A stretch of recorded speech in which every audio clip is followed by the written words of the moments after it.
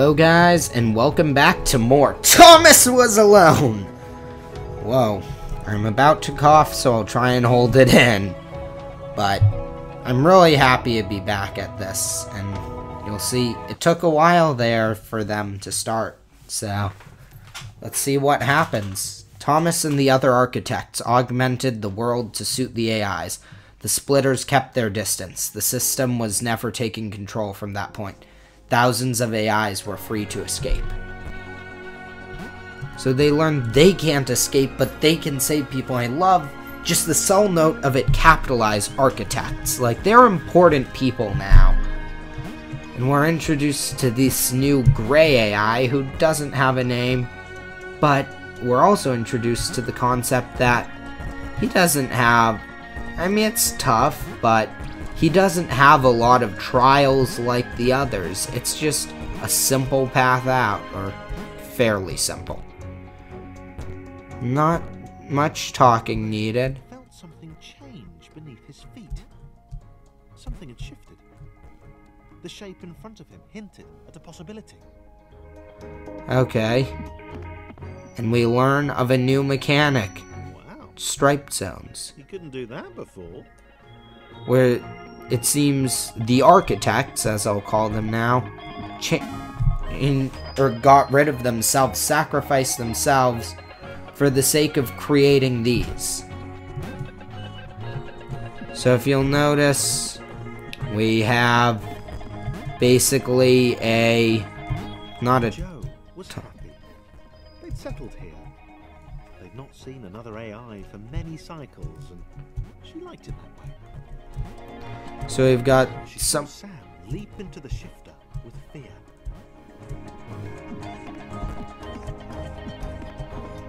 So we've got someone like Thomas and someone like Chris, but they're Joe. And they're figuring out things. But I just love this sort of new mechanic of these shifters, I think is what they're calling them, where they modify their the abilities of these new pieces or they're gray so it seems they don't really have many abilities but they get modified to have these new powers. So when we touch the blue one which is the symbol of of course Claire they gain her superpower of being able to enter water and stay alive. And is this a new character? Is this the one we already had? So, Couldn't work it out. Why was the world letting him do this? It was dumb. It was awesome, obviously, but why? so now he's got the abilities. And to the right. We get these new abilities. In this case, it's floating upward. Although it's not green, so I guess I was wrong about that. I love how this game circles around. Like, it goes back to being slightly easy, but right back to the basics of they're leading him up and to the right. So now I've got two kinds of shifters. So let's see what they do. Joe wished Sam would stop. This was just like the time with the pixel clouds. They hadn't seen any for a while. He was always running off like this. So we've got Joe and Sam, who can now It was silent. go underwater. He tried to calm Joe down. He couldn't explain why he felt this way. He just knew that there was somewhere else he should be. So what is this power? Maybe it's just meant so that they can turn back from being water? I don't know. I thought it would be double jump. Oh, no, wait. There we go, because it's bouncy time. So maybe the upside down one? I don't know. It's weird. And now we need to use one to carry another through the waters. which I just think this is really cool. But we also realize going through the water isn't enough, and we need the bottom one to be bouncy. So now that he's waterable, we can simply use him as the water one. And I'm sorry if something showed up on the screen. I accidentally, in trying to get the correct guy, changed my brightness. But, oh right, that part. So, this is actually trickier than I thought. You can see in the bottom right corner where it shows the little block icons, I never actually pointed that out. But it shows that these characters, um, it shows exactly what abilities they have. And that was a pro jump right there, have to say. Very proud of that. And, oh, I missed the intro there. There was a whisper to the shifters. So, now, so you can sort of see the theme of this area. That's all of these new characters, and we're getting introduced to a lot of new characters because these are not the architects. These are the main characters. These are the ones being saved. They had been. And there, they had been created.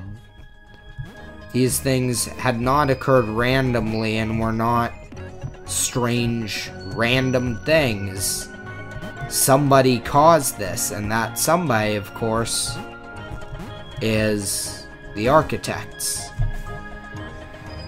So, to help all of these get free.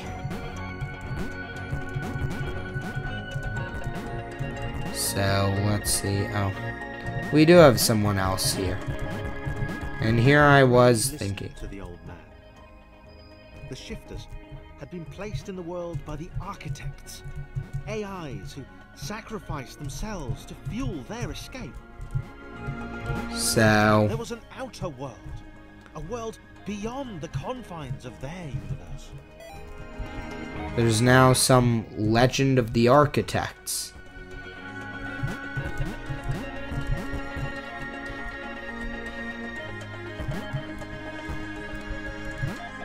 So can I get up there now? Okay. This is strange. I don't know. Okay, how do I get up there? One thing I kind of wish this game had, which puzzle games in general are good when they have this, is some sort of map. Some way to tell me, some way I can look and see a whole overview of the level so I can think about what I have to do before fully executing it. But then, that takes away some of having this world open up to you.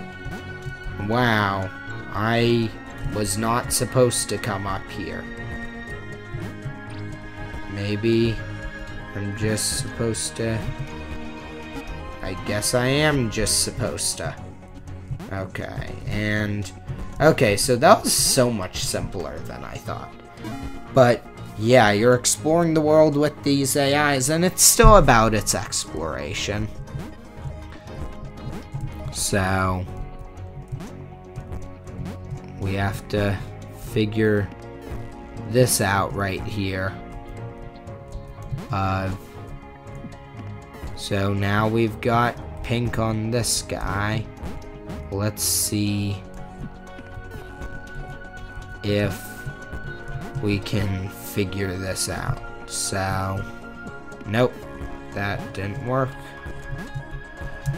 I might be doing some of these completely Going to like their overcomplicated. Maybe Sam had done the right thing after all. So,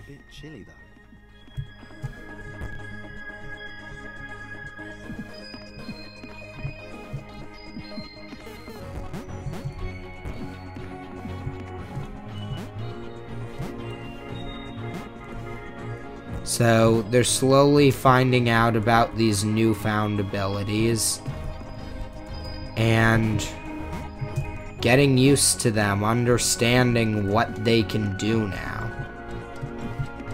And good, okay. I was worried he wouldn't be able to get up there. Or she. I don't know. With these new blocks, I kind of wish they'd give them a little bit more personality, but I get with their point in the story, they're really not meant to be as, to say the least, relatable as the others. But I still wish, it, like, I can never remember the their the names of these ones. Okay. I know I'm stupid for trying this, but if I can... Oh wait, no, I have to do it this way. Never mind. Okay. And then... We get these new things. And so these levels are at least, they're at least feeling like they're zipping by. Because it's not meant to be that hard, it's meant to show off these new ideas now we get the double jump. The man behind. He had to get to this exit. He had to be the one to get out. A whole world to himself. So, now you've got the selfish one. Before anyone else did. And that, of course, is never a good thing, but, I don't know. Will he get revenge, or... He's leaving someone behind, so that's it's hard to remember when you don't have the double jump after having the double jump. That's so cool how you can just switch at will between these new abilities. Okay, where do I go from here? I have to get up there? Is there any other one? Oh, it's just meant to make the water safe. Okay now.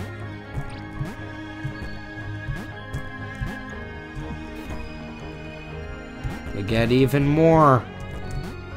Uh, this is a new character, is it? Okay.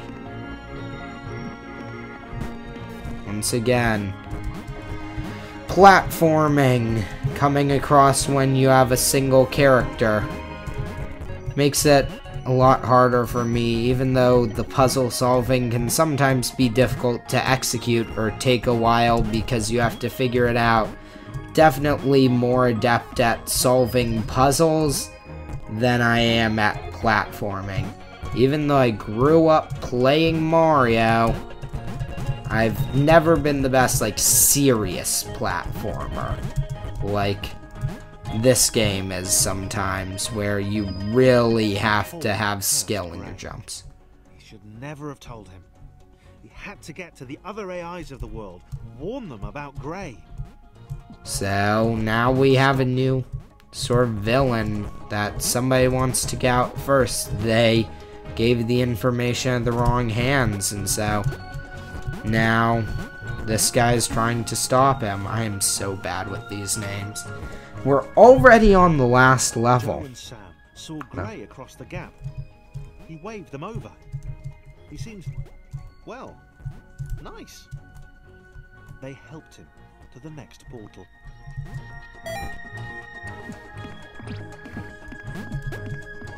So now, we're getting introduced to meeting all of these characters together, Joe and Grey and the others, but they're still not particularly memorable.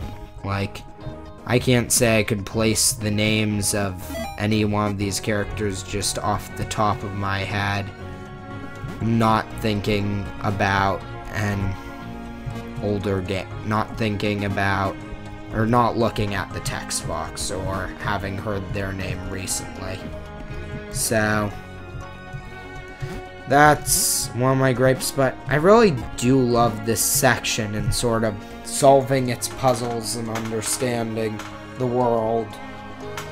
And seeing that Thomas and his friends were successful, or at least somewhat successful, in their attempt to save everyone else. And as we get nearer and nearer to the end of the games, I'd like to say thank you guys for watching. I've been VG Music Weekly. This has been Thomas Was Alone, and I hope you have a fantastic day.